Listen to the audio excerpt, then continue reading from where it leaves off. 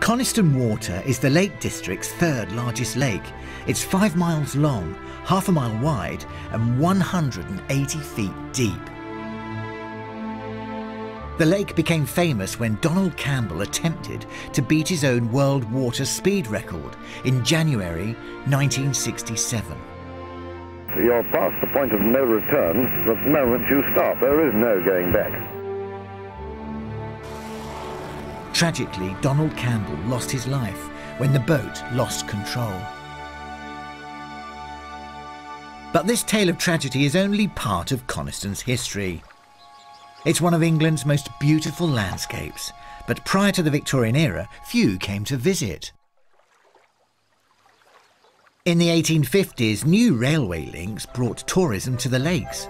Victorian workers began to get weekends off and were already holidaying in resorts like Blackpool in Lancashire. The Furness Railway operating in the Lake District capitalised on the links already established to Lancashire for ferrying minerals and industrial materials. Now they could carry fare-paying day trippers. From holiday hotspots like Blackpool, they organised day trips touring the lakes, travelling by train, horse-drawn coach and of course the steamboat. For around five shillings, holidaymakers could pick from one of many day excursions to the lakes. One of the most popular was the Outer Circle tour around Lake Windermere. These were some of the first all-inclusive tours in the UK.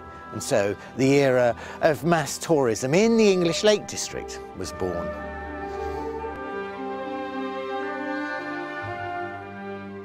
Now, the more adventurous would do the inner circle tour and buy their tickets from this ticket office and leave on this very jetty. Lake Bank Jetty on Coniston Water to get aboard this wonderful steam yacht, the Gondola. Just look at the beautiful lines on this vessel. She was built in 1859, one of the first to be commissioned by the Furness Railway Company for its day trippers. And I'm getting on board. And it wasn't just the aspiring classes taking part in the excursions. Restrictions in travel to Europe during the Napoleonic Wars had established the Lake District as an alternative to the Grand Tour. Wealthy Victorians maintained this tradition. They could now enjoy days out and better still do it in first class style. I'm going to find out more from the boatmaster Bill King. Bill, this is the height of luxury for a steam yacht, it really is. When I was approaching, I was thinking, why is it called gondola? But you can see by the bow section, it's very elegant and it's very extravagant. Just looking around, it's steeped in architectural detail. You've got wonderful sort of Corinthian columns here. I mean, you really do feel like you're on some kind of grand tour, don't you? Yes, and, and it was designed very much that way that people who are, who are accustomed to that kind of luxury, perhaps on the great uh, train tours in Europe, yeah. would see the same sort of luxury here. Um, and that's second class? It's second class through there. It would have had slatted wooden seats in there, and there would probably been a, a door to segregate the, the two. I was going to say, classes. did they ever meet the first and no, because there, there were there were different uh, places to board the boat over the bow for the well-to-do, uh, and uh, over the, the, the stern for steerage and uh, the rather steamy, sooty end of the boat. Well, I'm keen to look around, so um, will you be my tour guide and can I go and see the engine room, the sort of the nuts and bolts of the vessel? Yeah, um, absolutely. Paul, the engineer, is waiting for you down there and looking forward to telling you all about it. Okay, and hopefully I can fire up. Absolutely, yes. Load up. Gondola is more than 150 years old and considered to be the oldest yacht in the north. It was in 1980 that she was brought back to her former glory after being left beached and derelict.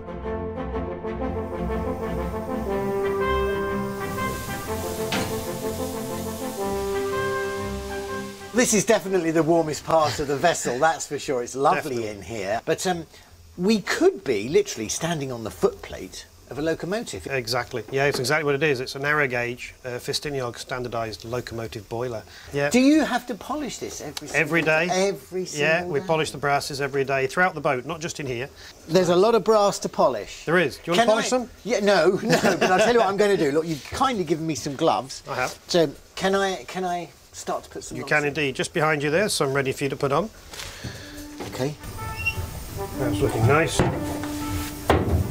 If you put two or three pieces in, Brilliant stuff. we monitor the pressure from these gauges up here. So what you've just put in will now burn, boil the water that's in here. Yeah. And we've now got a, just under 130 pounds of pressure on. So once it's built up enough pressure, enough steam, we can head off. We can indeed. Yeah. Okay, do you go, do, do, have you got one of those? We can do. We can do that from the top side. Yeah.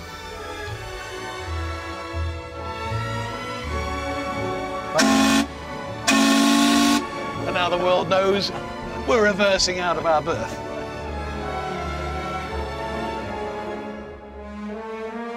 If you want to just steer for the narrows, Okay, you steer, of course, by just aiming the bow flag where you want to go. yeah. Just right of the old man of Coniston. what a view!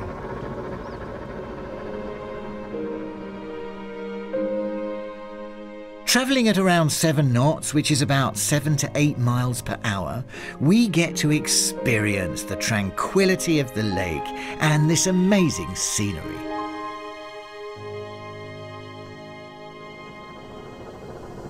It's so beautiful just seeing all the undulating landscape around the water. Well, I don't know, it's bowling me over really. This is such a privilege to do this. And there, look, we're just approaching Peel Island. Now that's the inspiration for Arthur Ransome's children's book, Swallows and Amazons, written in the 1930s. This is brilliant. This is the first time I've actually seen Peel Island from the water here. And look, just there, that inlet, that's the secret harbour. And that's all lit up at night now, and all the canoeists are, are camping. The Victorian art critic and writer John Ruskin bought a house on the lake here called Brantwood. We're just going by it. We're just approaching its jetty. He was a bit of a celebrity, and um, it must have been a, quite a thrill for all the Victorian day trippers to actually bypass his house. And you can see it in the trees just there. It's a lovely view of the house. You can imagine them all trying to spot Ruskin at work in his study, the turreted room, probably cataloguing one of his Turner paintings. These stunning views would have been pretty much the same for those Victorians. And what a wonderful escape from those industrial towns. More than 7,000 visitors annually took the Inner Circle trip shortly after it opened in 1865. Towards the turn of the 20th century, that number had trebled to around 22,000 visitors, and today it still draws in the crowds, taking part in activities in and around it. And let's hope that trip on the gondola, which you can see just disappearing in the distance there, taking in all this magic scenery, will be with us for many more generations to come. It truly is